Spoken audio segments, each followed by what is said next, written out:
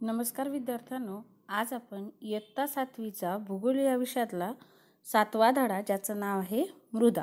हा पाठ आज आपण पाहणार आहोत. यापूर्वी म्हणजेच इयत्ता सहावीला तुम्ही खडक आणि खडकांचे प्रकार हे तुम्ही अभ्यासलेले आहेत. तर या धड्यामध्ये आपण मृदा म्हणजेच माती या घटकाबद्दलचा अभ्यास पाहणार आहोत. या पाठामध्ये आपण पाहणार आहोत मृदा म्हणजे काय? त्याचबरोबर मृदा निर्मितीसाठी आवश्यक असणारे घटक कालावधी जैविक घटक मृदेचे प्रकार मृदेचे वितरण आणि मृदेचे पोषण किंवा मृदेचं पर्यावरण मृदेची धूप कशी टाळावी याबद्दलची माहिती आपण या पाठामध्ये आज अभ्यासणार आहोत. तर सुरुवात करूया आपल्या आजच्या या पाठाला. यामध्ये आपल्याला पहिल्यांदा काही प्रश्न दिलेले आहेत. यामध्ये पहा मृदेमध्ये असणारे वेगवेगळे घटक कोणते? पहिल्यांदा आपण काय करूया? मृदा म्हणजे काय याबद्दल माहिती बघूया. मृदा म्हणजेच काय? माती ज्याला आपण म्हणतो. मृदेचे अनेक व्याख्या केलेले आहेत. मृदा म्हणजे वनस्पतीला आधार देण्याचं ज्या काम करतात त्याचबरोबर ज्यामध्ये काय होतात? वनस्पती वाढतात. वनस्पतीचं पोषण होतं अशा भूकवचाच्या विघटित म्हणजेच रूपांतरित थराला मृदा म्हणजेच माती असे म्हणतात. म्हणजे माती किंवा मृदा म्हणजे काय? ज्यामुळे वनस्पतीला आधार मिळतो. वनस्पतीचं पोषण होतं. वनस्पतीची व्यवस्थित वाढ होते. अशा भूकवचाच्या विघटित किंवा रूपांतरित थराला माती किंवा मृदा म्हणून ओळखले जाते. या मृदेमध्ये असणारे घटक कोणते? यामध्ये जैविक घटक आहेत अजैविक घटक आहेत. याबद्दल हे काय येतात? मृदेचे वेगवेगळे येणारे घटक आहेत. मृदे निर्मितीसाठी अजैविक घटक कुठून येतात? अजैविक म्हणजे काय? जे सजीव नाहीत. म्हणजेच काय? माती असेल खडक असेल वाळू असेल ही काय आहेत? मृदेमध्ये असणारी अजैविक घटक. ही पर्यावरणामधून म्हणजेच निसर्गामधून ही मातीमध्ये ज्यावेळेस मृदा निर्मिती होते त्यावेळेस मातीमध्ये मिसळतात. मृदेमधील विविधता कशामुळे निर्माण होते? विविधता म्हणजे काय? वेगळेपण आपण प्रत्येक प्रदेशामध्ये गेलो तर प्रत्येक प्रदेशामध्ये आढळणारे मृदा वेगवेगळी असते. काही ठिकाणी आपल्याला लाल मृदा आढळते काही ठिकाणी काळी रेगूर मृदा आढळते. ही मृदा निर्मिती किंवा ही मृदा विविधता कशामुळे निर्माण होते? तर त्या ठिकाणी असणारे हवामान. त्याचबरोबर त्या ठिकाणी आढळणारा खडक. यापासून मृदेमध्ये विविधता आढळते. वरील प्रश्नांच्या आधारे मृदेबद्दलची काही माहिती आणि वैशिष्ट्ये आपल्याला लक्षात आली असतील. आता आपण मृदेची सविस्तर ओळख करून घेऊया. मृदेच्या निर्मितीमध्ये म्हणजेच मृदा तयार होण्यासाठी मूळ खडक प्रादेशिक हवामान जैविक घटक जमिनीचा उतार व कालावधी ही सगळी घटक मृदा निर्मितीमध्ये विचारात घेतली जातात. या घटकांच्या एकत्रित परिणामा परिणामातूनच मृदेची निर्मिती होते.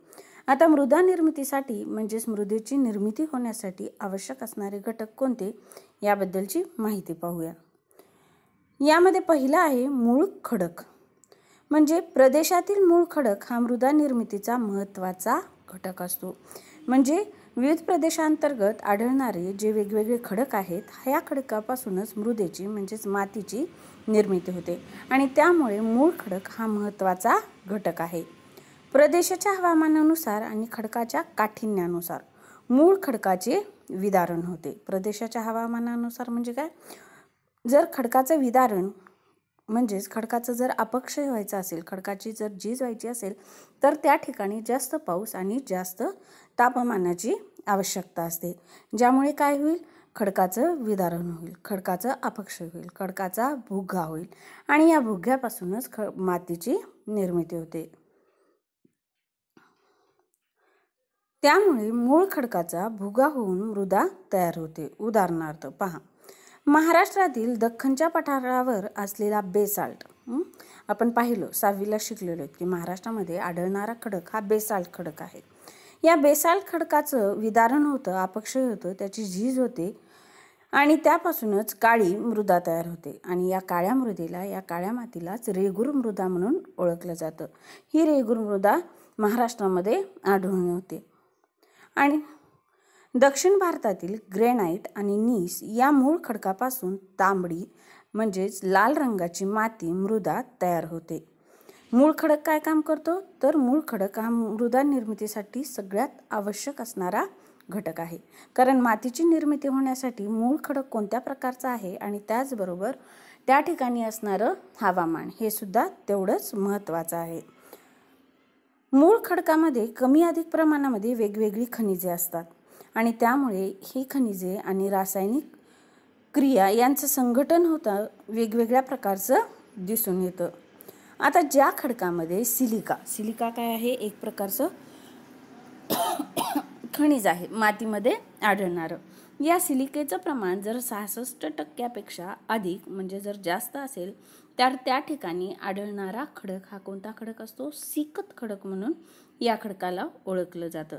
आणि ज्या खडकामध्ये पन्नास टक्क्यापेक्षा कमी प्रमाणामध्ये सिलिका आढळून येतं त्या ठिकाणी असणाऱ्या खडकाला अल्पसिकत खडक म्हणून ओळखलं जातं. आता महाराष्ट्रामध्ये बेसाल्ट नावाचा खडक आहे आणि या बेसाल्ट खडकामध्ये पन्नास टक्क्यापेक्षा कमी प्रमाणामध्ये सिलिकेचं प्रमाण आहे आणि म्हणून याला अल्पसिकत खडक म्हणून सुद्धा ओळखलं जातं. हा झाला मृदेसाठी आवश्यक असणारा पहिला घटक मूळ खडक. आता आपण पाहूया दुसरा म्हणजेच प्रादेशिक हवामान आपण पाहिलं की सहावीलाच आपण शिकलो की विषुववृत्तापासून जसं आपण वर जाऊ किंवा उत्तरेकडे दक्षिणेकडे जाऊ तर आपल्याला काय आढळून येतं? तापमानामध्ये तफावत आढळून येते. तापमानामध्ये फरक आढळून येतो. प्रदेशानुसार आपण पाहिलं की उष्णकटिबंध शीतकटिबंध असे तापमानाचे पट्टेसुद्धा पडलेले आहेत. मृदा निर्मितीसाठी आवश्यक असणारा हा एक आणखीन महत्त्वाचा घटक आहे. मूळ खडकाचं विदारण म्हणजेच अपक्षय. विदारण म्हणजे काय? अपक्षय. आणि अपक्षय म्हणजे काय? खडकाची झीज होणे आणि खडकाचे बारीक तुकडे होऊनच काय होतं? त्यापासून माती तयार होते. आणि या खडकाच्या तुकड्यामध्ये अनेक जैविक घटक मिसळतात. खनिजे मिसळतात. आणि रासायनिक क्रिया घडून येऊन काय होते? मातीची निर्मिती होते. मूळ खडकाचे विदारण अपक्षय होणे हा मृदा निर्मितीतील पहिला टप्पा असतो. विदारण प्रक्रिया ही प्रदेशाच्या हवामानावर ठरते. विदारण केव्हा होईल? ज्यावेळेस तो खडक जास्त गरम होईल आणि खडक जास्त गरम होण्यासाठी त्या ठिकाणी काय पाहिजे? सूर्यकिरणे तीव्र स्वरूपामध्ये त्या प्रदेशावर पडली पाहिजे तेव्हाच काय होईल? खडक लवकर गरम होईल आणि त्या खडकाची तुकडे होतील. आणि त्याचबरोबर जर जास्त पर्जन्य असेल म्हणजे जास्त पाऊस जास्त पाऊस पण आणि जास्त तापमान पण यामुळे सुद्धा काय होतं? खडकाचं अपक्षय होतं विदारण होतं. एकाच मूळ खडकापासून वेगवेगळ्या प्रकारची मृदा हवामानातील फरकामुळे तयार झालेली आपल्याला मिळते. उदाहरणार्थ पहा सह्याद्रीच्या पश्चिम भागामध्ये हवामान दमट आहे आणि त्या ठिकाणी बेसाल्ट या खडकाचे अपक्षालन होऊन जांभी मृदा आढळून येते. हा मृदेचा प्रकार दख्खनच्या पठारावर कोरड्या हवामुळे निर्माण होणाऱ्या रेगूर मृदेपेक्षा वेगळा आहे. खडक एकाच प्रकारचा आहे. परंतु याच खडकापासून प्रदेशांतर्गत जर आपण पाहिलं तर काय होते? वेगवेगळ्या प्रकारची मृदा निर्मिती होते. आणि ही मृदा निर्मिती होण्याचं कारण म्हणजेच काय आहे? प्रादेशिक हवामान. आता पुढचा आपण घटक पाहूया तो म्हणजे जैविक घटक. खडकाचं विदारण होऊन त्याचा भुगा तयार होतो. परंतु हा भुगा म्हणजे मृदा नव्हे वाळूचे तुकडे आला आपण मृदा म्हणतो का माती म्हणतो का नाही? तर मृदेमध्ये खडकाच्या भुग्याशिवाय जैविक पदार्थ मिसळले जाणे सुद्धा आवश्यक असते.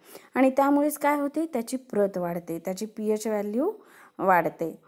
हे जैविक पदार्थ प्रदेशातील वनस्पती प्राणी यांच्या विघटनामधून त्या मृदेमध्ये त्या मातीमध्ये भुग्यामध्ये मिसळली जातात. वनस्पतीची मुळे पालापाचोळा प्राण्यांचे मृतावशेष इत्यादी घटक पाण्यामुळे कुसतात आणि तसेच त्यांचे विविध जीवामार्फत विघटन होते. उदाहरणार्थ गांडूळ सहस्त्रपद म्हणजे ज्याला आपण पैसा किडा म्हणून ओळखतो. वाळवी गोम मुंग्या अशा विघटित झालेल्या जैविक पदार्थास ह्युमस असे म्हणतात. आणि मृदेमध्ये ह्युमसचं प्रमाण जर अधिक असेल तरच काय असते ती मृदा? सुपीक असते. आणि ह्युमस म्हणजेच काय? हे जैविक पदार्थ त्यामध्ये मिसळले जाणे. म्हणजे खडकाचं ज्यावेळेस अपक्षय होतो भुगा तयार होतो आणि या भुग्यामध्ये वनस्पती प्राण्यांचे अवशेष त्याचबरोबर पालापाचोळा ही कुजतात. आणि त्यांचे मृत अवशेष ज्यावेळेस कुजतात त्यावेळेस ती त्या अपक्षयामध्ये तयार झालेल्या वाळूच्या कणामध्ये मिसळली जातात आणि त्यामुळे त्याची प्रत वाढते. त्यामध्ये अनेक खनिजांची वाढ होते. आणि या मृदेमध्ये ह्युमसचं प्रमाण वाढतं. आणि ही मृदा ज्यामध्ये ह्युमसचं प्रमाण जास्त असतं ती मृदा अधिक सुपीक असते. वनस्पतीसाठी आवश्यक असणारी पोषक तत्वे त्यामध्ये जास्त प्रमाणात असतात. अनेक जीवामार्फत विघटनाची प्रक्रिया होत असते आणि त्यामुळेच अलीकडेच गांडूळ खत निर्मितीचा प्रयोग मोठ्या प्रमाणात केला जात आहे. गांडूळ खत किंवा कंपोस्ट खत निर्मिती प्रक्रिया तुम्हाला समजून घ्यायची आहे. तुम्हाला विज्ञान विषयाअंतर्गत आहे. त्याला काही आवश्यक घटक लागतात. ह्या कंपोस्ट खताच्या निर्मितीसाठी ओला कचरा असेल सुका कचरा असेल त्याचबरोबर ऊन असेल म्हणजेच उष्णता पाणी ही सगळी एकत्रित कुजवल्यानंतर त्यापासून गांडूळ खताची किंवा कंपोस्ट खताची निर्मिती केली जाते. त्यामध्ये गांडूळ सोडले जातात आणि हे गांडूळ यांना काय करतात? बारीक करण्याचं काम करतात. आणि ही खनिजे ही पोषक तत्वे त्या ठिकाणी असलेल्या मातीमध्ये मिसळतात आणि त्या मातीची पोषक तत्वे वाढवतात. आता पुढचा घटक आहे मृदा निर्मितीसाठी आवश्यक असणारा तो म्हणजे कालावधी. मृदा निर्मिती ही एक नैसर्गिक प्रक्रिया आहे. या प्रक्रियेमध्ये मूळ खडकाचं विदारण होतं. हवामान व जैविक घटक या सर्व बाबींचा समावेश होतो. पहिल्यांदा खडकांचं विदारण होणं गरजेचं असतं. आणि ह्या खडकाचं विदारण होण्यासाठी कशावर अवलंबून आहे खडकाचं विदारण?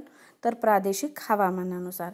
विदारण झाल्यानंतर त्यामध्ये जैविक घटक मिसळले जाणेसुद्धा तेवढेच गरजेचं आहे तरच ती काय असेल?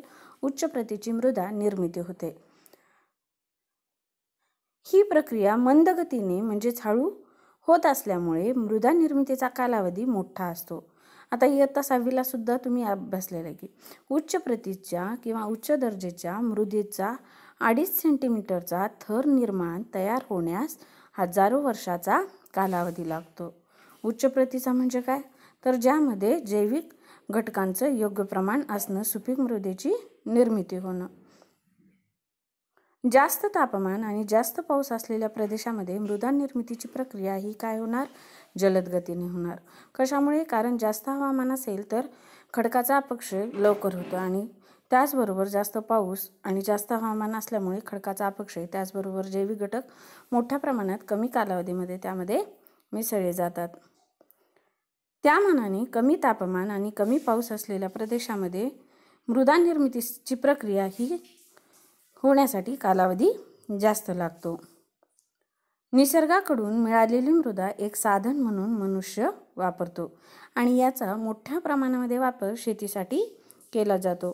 कित्येकदा जास्त उत्पादन मिळवण्यासाठी शेतामध्ये अनेक प्रकारची रासायनिक खते कीटकनाशके यांचा बेसुमार वापर होतो आणि यामुळे जी मृदेची गुणवत्ता आहे ती गुणवत्ता कमी होते आणि हळूहळू ती जमीन नापीक होण्यास सुरुवात होते.